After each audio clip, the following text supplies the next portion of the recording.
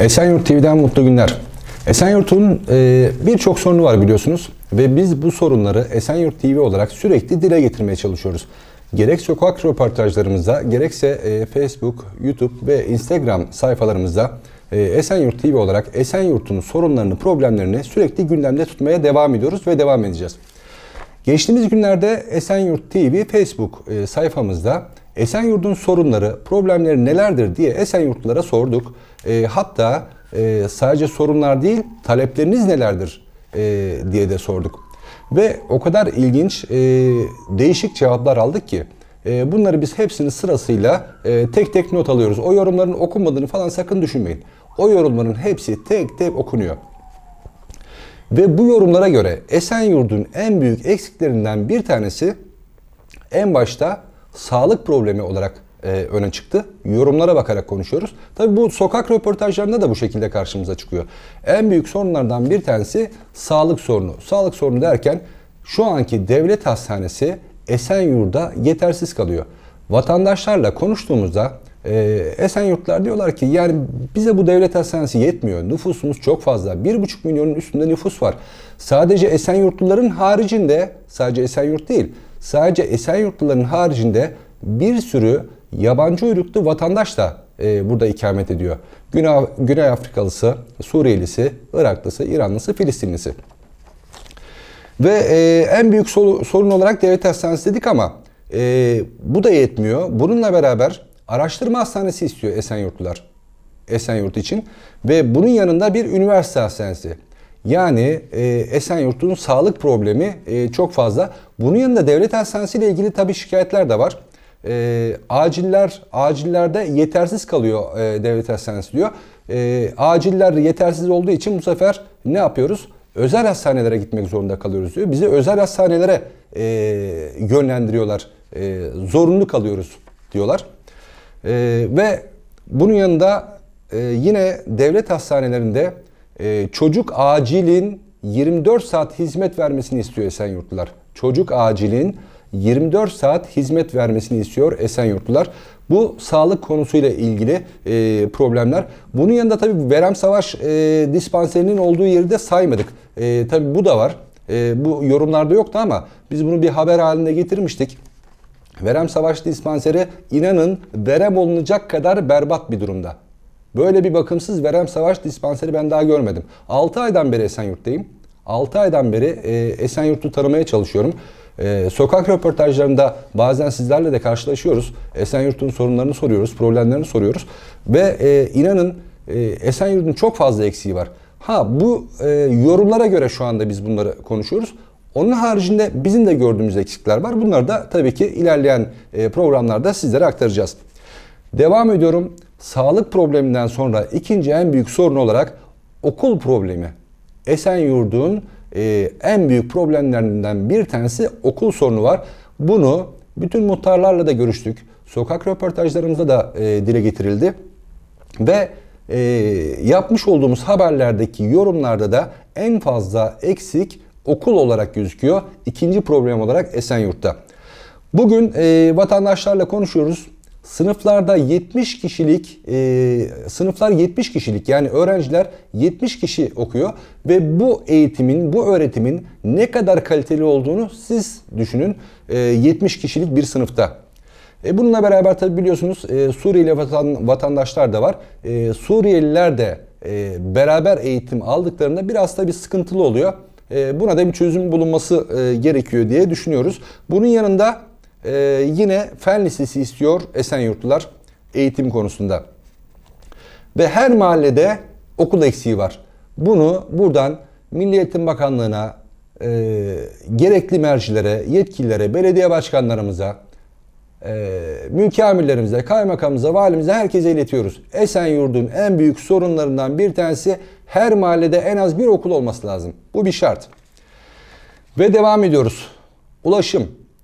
Esenyurt'un üçüncü en büyük problemlerinden bir tanesi. E, köprü ve kavşakların yeniden düzenlenmesini e, istiyor vatandaş. E, tünelden bir geçiş var biliyorsunuz Esenyurt Meydanı'nın orada. E, bu tünelden devlet hastanesine gidilemiyor. Böyle bir e, yol yok diyorlar. E, çok uzaktan Örnek Mahallesi'nin oralardan dönülüyor e, diye e, bahsetmiş vatandaşlarımız. Yine devam ediyor. Yeterli derecede belediye otobüsü yok. Yeterli derecede belediye otobüsü yok. İETT'den buraya e, belediye otobüsü istiyorlar. Yani gerçekten bu nüfusu kaldıracak e, pozisyonda değil şu anki e, araçlar. E, bir buçuk milyon nüfus var. E, tabii yabancılarla beraber bu daha da fazla oluyor. E, bunun dışında Esenyurtlular metroyu bekliyorlar. Dört gözle metroyu bekliyorlar çünkü çok uzun zamandan beri e, burada tabii giriş çıkış yerleri e, hazır e, metronun. E, vatandaşlarımız çok uzun zamandan beri bir an önce metronun açılmasını istiyorlar Esenyurt'ta.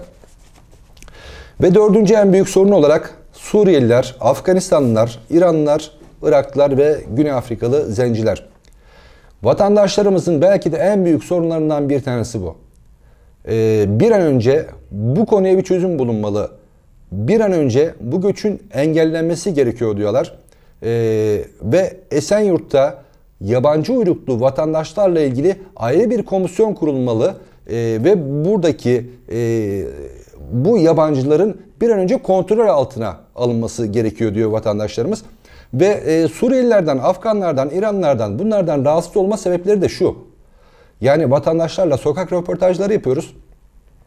Vatandaşların bize vermiş olduğu cevap şu.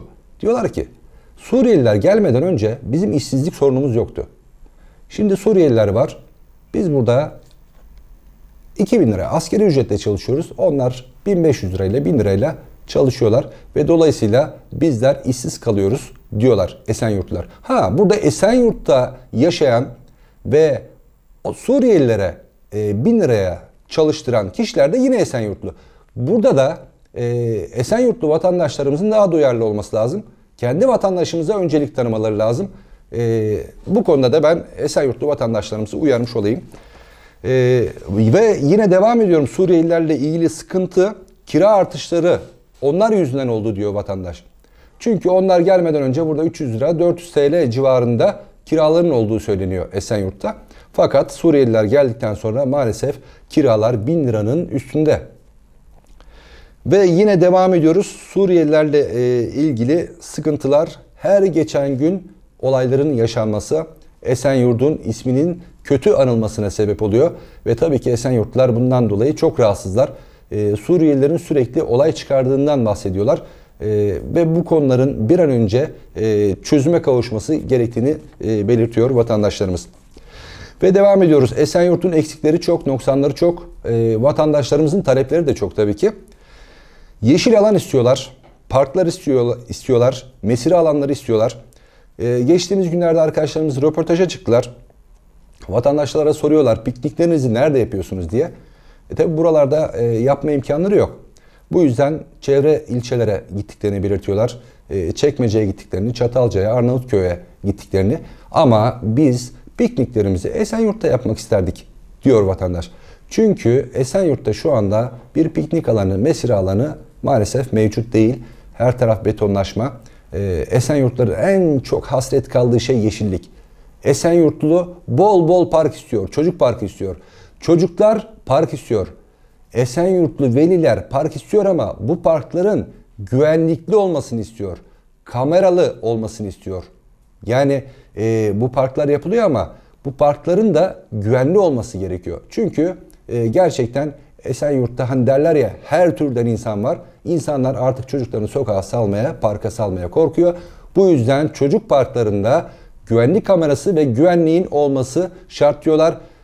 Ee, çocuk parklarında olsun, yeşil alanlarda olsun alkolün kesinlikle alınmaması şeklinde e, çocukların da talepleri var, velilerin de talepleri var. Ve Esenyurtlular e, piknik alanları istiyor, bol bol yeşil alan istiyor. E, bu konuda biz de aracı olarak e, Esenyurt halkının taleplerini iletmiş olalım. Burada e, belediye başkanlarımıza da e, iletelim. E, tabii ki e, valilerimize de iletelim bu önemli bilgileri. Ve e, Esenyurt Üç Evler Mahallesi semt pazarı istiyor. Burada semt pazarımız yok diyor. Çok uzaklarda e, semt pazarı var. Oralara gitmek zorunda kalıyoruz. Biz de e, Üç Evler olarak mahallemizde semt pazarı istiyoruz diyor e, vatandaşımız. Ve devam ediyoruz. Gençler basketbol ve futbol sahaları istiyor. Bol bol spor kompleksi olsun istiyor. Esenyurt büyük bir e, ilçe ama artık yani İstanbul metropol ya. Bu da İstanbul'un metropol bir ilçesi oldu Esenyurt artık. E, ve Esenyurt'ta yine vatandaşların en çok şikayetçi olduğu konulardan bir tanesi maalesef uyuşturucu. Uyuşturucu çok fazla kol geziyor diyorlar. Yaptığımız röportajlarda da bu çok fazla karşımıza çıktı. Ve e, bu haberlerimizde, yorumlarımızda, haber yorumlarımızda da çok fazla ön plana çıkıyor. E, Esenyurt'ta uyuşturucu ile mücadelenin daha fazla artması gerektiği ve bir an önce rehabilitasyon merkezlerinin kurulması gerektiği e, belirtiliyor. Ve devam edelim. E, örnek ve Çınar mahallelerinde 30 yıldır imar olmadığı söyleniyor. Hala hisseli e, tapu kadastro e, mahkemesi diyorlar diyor. E, vatandaşlarımız Örnek ve Çınar mahallesindeki vatandaşlarımız 30 yıldır imar sorunuyla uğraştıklarını söylüyorlar. Burada da tabii ki e, değerli belediye başkanımıza e, bu mesaj gelmiş oluyor. Şimdi bir de e, şunu da söylemek istiyorum. E, bazen evet e, yeni belediye başkanı Sayın Kemal Deniz Bozkurt e, kendisini de buradan kutluyorum. Bir an önce bir şeyler istiyor vatandaş. Tabii ki bu bir an önce olmuyor. Yani biraz bekleyeceğiz. 6 ay, 1 sene bekleyeceğiz. Bir bakacağız, bir göreceğiz neler yapılıyor, ne çalışmalar yapılıyor. Yani hemen eleştirmek e, bence doğru bir tabir değil.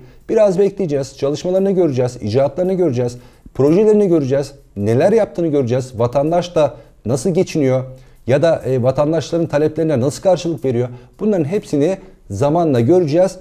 Olumlu ve olumsuz yönlerini de tabii ki biz e, Esenyurt TV olarak e, değerli izleyicilerimizle paylaşacağız. O yüzden çok acele etmeyelim, bekleyelim. E, yeni bir belediye başkanı eksikleri olabilir, noksanları olabilir. Çok acele etmeyelim, bekleyelim, hep beraber görelim. Eksiği varsa eksiğini söyleriz, e, artısı varsa artısını söyleriz. E, o yüzden e, çok fazla bence e, şu anda e, eleştiri bazında konuşmayalım. Evet eksikler varsa bunları iletelim. O ayrı bir konu. Ve devam ediyoruz. Evet trafik ve otopark sorunu e, ve park sorunu çok fazla Esenyurt'ta. Vatandaşlarımız bundan da şikayetçi. E, bu konularda e, bir çözüm istiyor Esenyurtlular. Trafik, otopark sorunu ve park sorunları ile ilgili. Ve devam ediyoruz. Ee, ben çok fazla olmadı Esenyurt'a geleli ama vatandaşlarımızın yazdığı gibi aynen okuyorum. Dere yatağının yürüyüş yolu olarak kapanması gerektiğini söylüyorlar. Dere yatağının yürüyüş yolu olarak kapanmalı ve o pis koku ve görüntü kirliliği yok olmalı diyor Esenyurtlu vatandaşlarımız. Ve yavaş yavaş artık sona doğru geliyoruz. E, esnaflar kaldırımı işgal ediyor diyor vatandaşlar. E, burada da e, esnaflarımıza biraz e, şikayet var. E, bu yüzden dolayı yayalar olarak kaldırımlarda yürüyemiyoruz. E, bu konuda esnaflarımızın biraz daha e, bu konularda duyarlı olmalarını e, istiyoruz diyor vatandaşlarımız. Ve son olarak Esenyurtluların en fazla istediği şey güvenli bir Esenyurt istiyor Esenyurtlular. Ve olaylarıyla değil güzellikleriyle anılmak istiyor Esenyurtlular. Bu da Esenyurtluların bizlere son mesajı. Ee, bu tabii ki bizlere değil.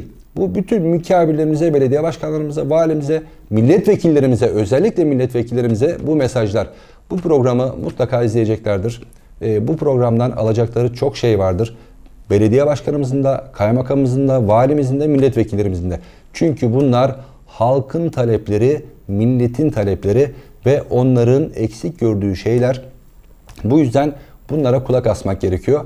Ee, ben buradan e, Esenyurtluların yine gözü kulağı olmaya devam edeceğim. Sokak röportajlarımız olacak, özel programlarımız olacak.